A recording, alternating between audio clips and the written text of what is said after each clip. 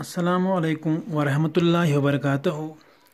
Today I am going to recapitulate some topics of chemical reactions and equations in order to make easy for you to understand my upcoming lectures.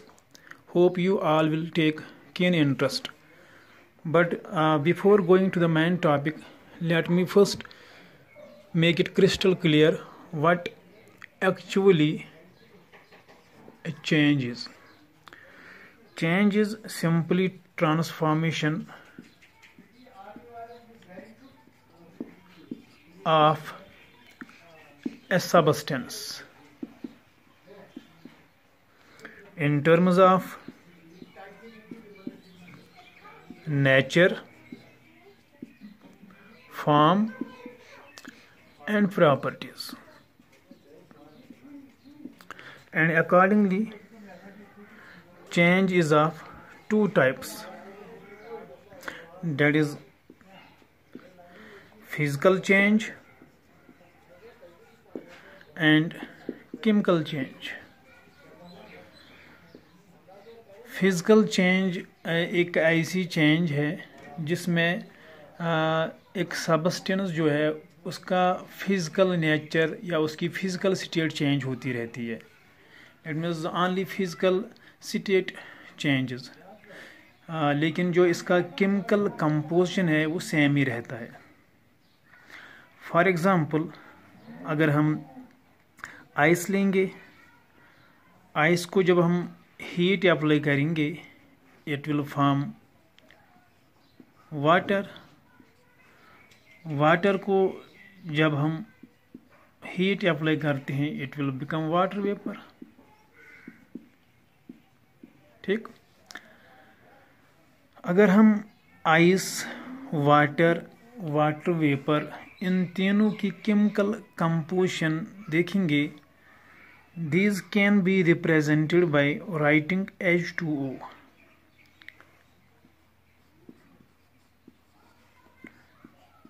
that means ice water water vapour इन तीनों की chemical composition जो है वो same है।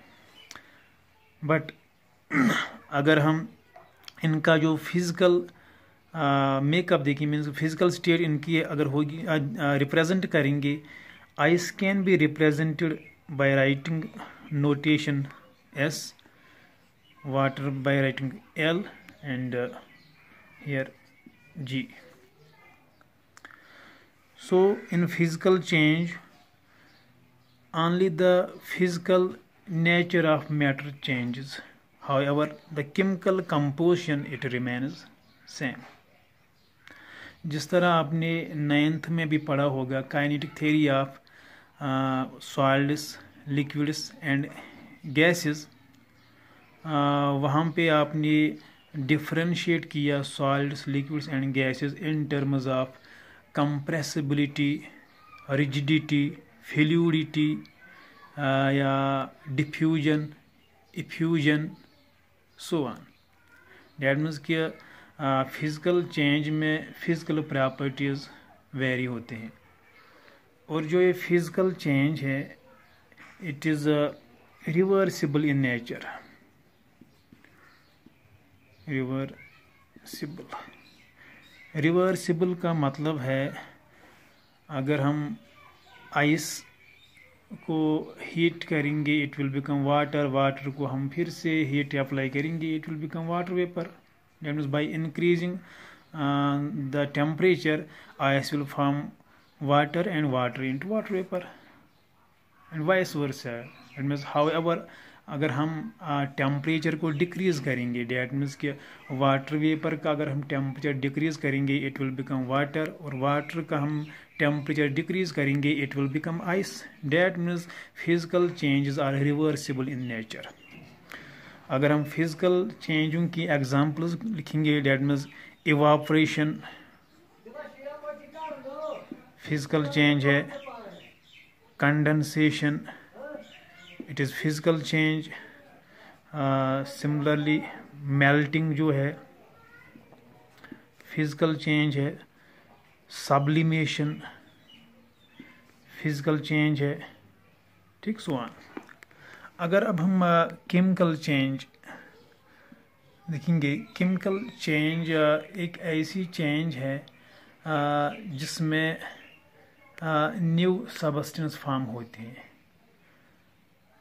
That means chemical change में जब नए substance बनते हैं उनकी जो फ़िज़िकल प्रॉपर्टीज़ और केमिकल प्रॉपर्टीज़ वो एंटायरली डिफरेंट होती हैं। ठीक?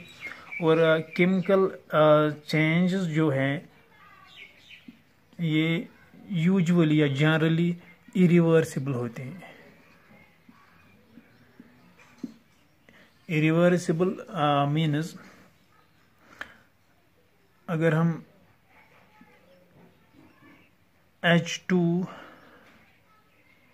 S O four को हम रिएक्ट करेंगे जेड एन के साथ।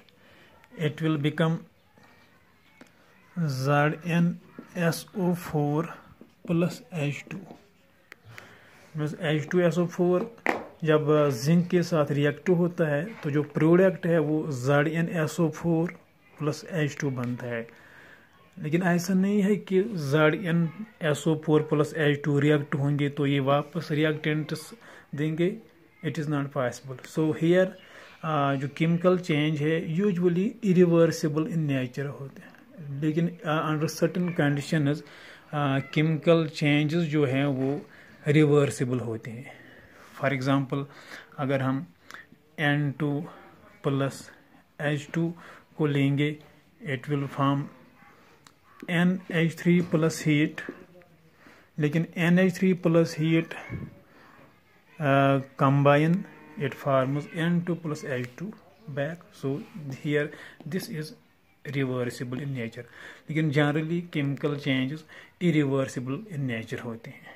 ठीक इन नटशल फ़िज़िकल चेंज में कोई भी नया सबस्टेंस फॉर्म नहीं होता है, लेकिन सिर्फ़ फ़िज़िकल स्टेट चेंज होती है मीन्स मैटर की कैफियत चेंज होती है। लेकिन केमिकल चेंज में नए सबस्टेंस बनते और उन सबस्टेंसों की वो फ़िज़िकल प्रॉपर्टी और chemical property totally or entirely different होती है ठीक? Now coming to the chemical reaction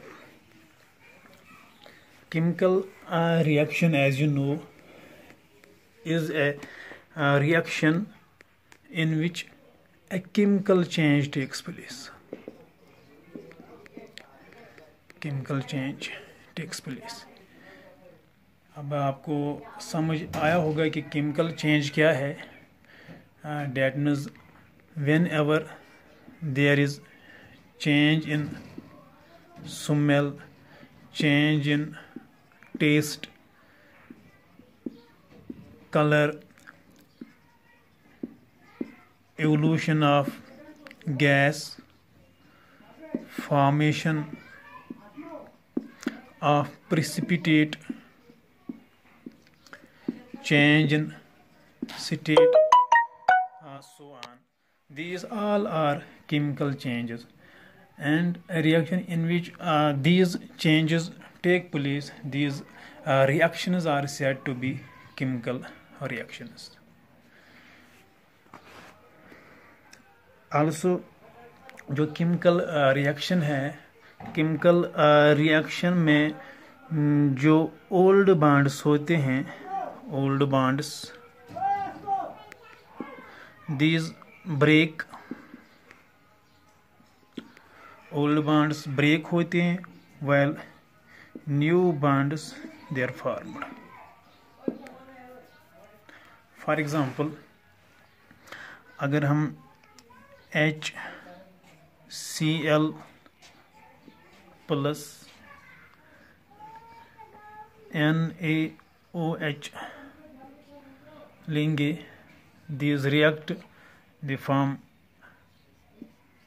NaCl plus.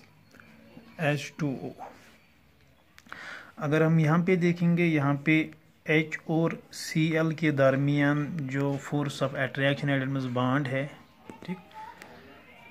और ए ओ एच के ओ एच के दरमियान भी बॉन्ड है। लेकिन जब हम प्रोडक्ट साइड देखते हैं, यहाँ पे एन ए और सी एल के दरमियान है और एच और ओ एच के दरमियान है। डेट मीन्स जो ओल्ड बॉन्ड्स हैं, वो ब्रेक होते हैं और न्यू बॉन्ड्स फॉर्म होते हैं। ठीक? और केमिकल रिएक्शन में एटमों की रीअरेंजमेंट होती है डेट मीन्स कि एटम्स नए से फिर से अरेंज होती है प्रॉपर सीक्वेंस में and result in the formation of new substances और जो ये न्यू सबस्टेंस है, इनकी जो फ़िज़िकल प्रॉपर्टी और केमिकल प्रॉपर्टी वो एंटायरली डिफरेंट होती है. डेट मीन्स जो property chemical physical property H C L की होगी, वो एन ए सी एल की नहीं होगी. सिमिलरली एन एच और एच ओ एच या एच टू के दरमियान इन दोनों या इन रिएक्टों की जो फ़िज़िकल केमिकल प्रॉपर्टी है, वो एंटायरली डिफरेंट होगी दैन डेट ऑफ़ प्रोडक्ट्स ठीक? और अगर हम केमिकल रिएक्शन को नटशल में रिप्रेजेंट करेंगे नटशल में हम एक्सप्लेन करेंगे डिफाइन करेंगे that mean chemical reaction is a type of reaction in which there occurs a chemical change the change may be change in smell taste colour evolution of gas formation of precipitate change in state so on and chemical reaction में क्या होता है? Old bonds uh, break while new bonds are formed also in chemical reaction there occurs rearrangement of atoms during which new substances are formed having entirely different properties यहाँ पे एक point याद रखना chemical change में नए substance form होते हैं बनते हैं लेकिन नया एलिमेंट अराइज नहीं होता है नए एलिमेंट्स हम प्रोड्यूस करते हैं और बनाते हैं जूरिंग न्यूक्लियर रिएक्शंस जिस तरह uranium when uranium is bombarded with slow moving neutron it splits into barium krypton and three neutrons with the emission of large amount of heat and light energy that means uranium जो atom है वो convert हुआ barium और krypton में। That is called nuclear reaction nuclear reaction में नए elements बनते हैं, लेकिन केमिकल रिएक्शन में सिर्फ़ कंपाउंड्स नए बनते हैं, लेकिन एलिमेंट्स नहीं। अब जो नेक्स्ट टॉपिक है that is reactants and products reactants and products reactants क्या होते हैं? रिएक्टेंट्स वो केमिकल स्पीशीज़ हैं जो लेफ़्ट हैंड साइड में लिखते हैं या the reacting species are called reactants while products newly formed species होती हैं मीन्स जब रिएक्टेंट्स कंबाइन होते हैं रिएक्टेंट से जो नए सबस्टेंस बनते हैं, उनको कहते हैं products for example H C L plus NaOH it gives NaCl plus H2O HCl और NaOH ये reactants हैं while NaCl और H2 ये product means reactants are written on the left hand side and uh, products are written on the right hand side ठीक uh, अब अगर question होगा what are the characteristics of a chemical reaction chemical reaction के जो chemical reaction हैं, उनकी जो characteristic features हैं, वो यही है, जो केमिकल चेंज है change in smell change in taste change in colour evolution of gas formation of precipitate change in state similarly change in temperature and so on और जो केमिकल रिएक्शन या chemical changes यहाँ पे और एक point मैं add करना चाहता हूँ। फॉर एग्ज़ाम्पल अगर हम वाटर किसी बीकर में लेंगे और इसमें हम कोई भी इंक डालेंगे से blue ink the colour of water change it will form blue water its colour changes जो मैंने पहले ही बताया कि केमिकल चेंज में चेंज इन कलर भी होता है। अब यहाँ पे हमने पहले वाटर लिया, जिसका कोई कलर नहीं है। इसको हमने इंक ऐड किया। इंक ऐड की और इसका कलर चेंज हुआ। Can I say that this a chemical change no this is not a chemical change because यहाँ पे अगर हम देखेंगे, यहाँ पे तब भी ब्लू इंक मीन्स एक तो इंक है और वाटर। यहाँ पे कोई भी न्यू सबस्टेंस फॉर्म नहीं हुआ। So we can say that adding of ink to water it is a physical change but not a chemical change because no new substance formed लेकिन अगर हम लेंगे पोटेशियम आयोडाइड अगर हम पोटेशियम आयोडाइड को लेंगे लेंगे। Means K I potassium iodide plus P B N O three lead nitrate दोनों कलरलेस हैं। लेकिन जब ये रिएक्ट होते हैं they form potassium nitrate and lead iodide. These are yellowish so initially here no uh, color was uh, present but uh, when these react to each other they uh, form yellowish uh, product or mixture of KNO3 plus PBI means potassium nitrate and lead iodide. So we can say that uh, side by side with the formation of the new substance it also gives rise to change in color. So we can say that this is a chemical change. Hope uh, you all have understood it